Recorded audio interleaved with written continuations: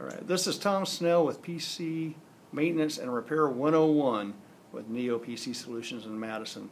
Tom is a guru and uh, expert on computer repair and, and many computer-related uh, issues.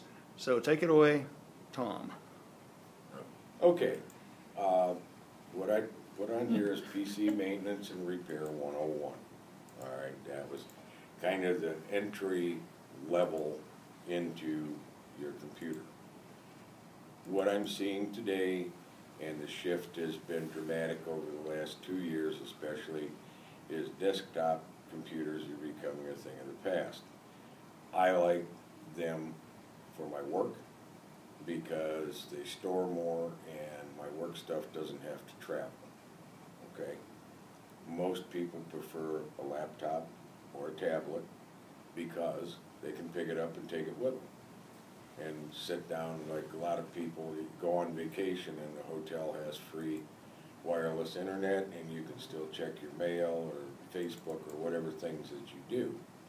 Um, Phones have made a large inroad into the technology side, um, especially these, you know, twelve to fifteen hundred dollar phones, super pixels, super this, super that.